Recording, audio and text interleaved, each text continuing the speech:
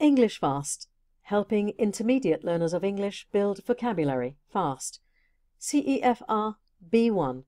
Complain, hurry, complain, hurry, permanent. Complain. Complain is a verb. B1 learners usually know complain. At B1, to complain is to say that something is wrong or that something annoys you. Here are some examples.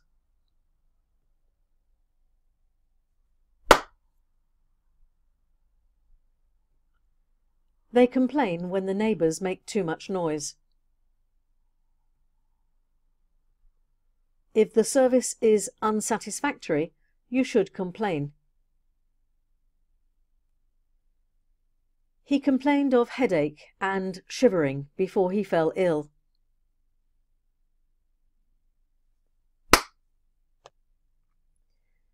He complained of headache and shivering before he fell ill. Hurry up. Hurry.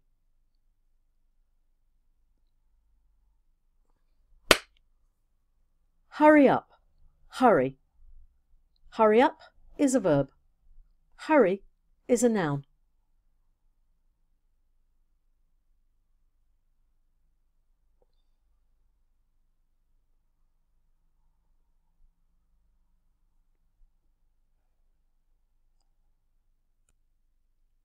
Hurry up. Hurry. Hurry up is a verb. Hurry is a noun and a verb. B1 learners usually know hurry. To hurry is to do something more quickly. Here are some examples. Hurry up, the bus is coming soon. He left in such a hurry that he forgot his keys. If you are not in a hurry to leave, we could have a coffee first.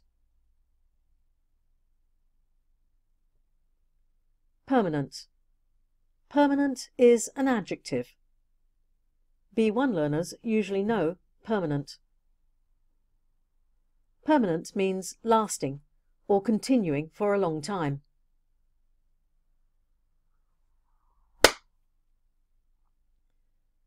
Permanent means lasting or continuing for a long time. Here are some examples. He is looking for a permanent job. He is looking for a permanent job. He is looking for a permanent job.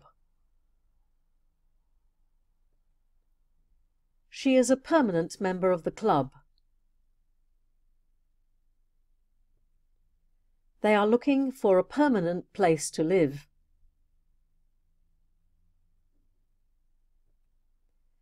In the comments below, write some of your own sentences with complain, hurry and permanent.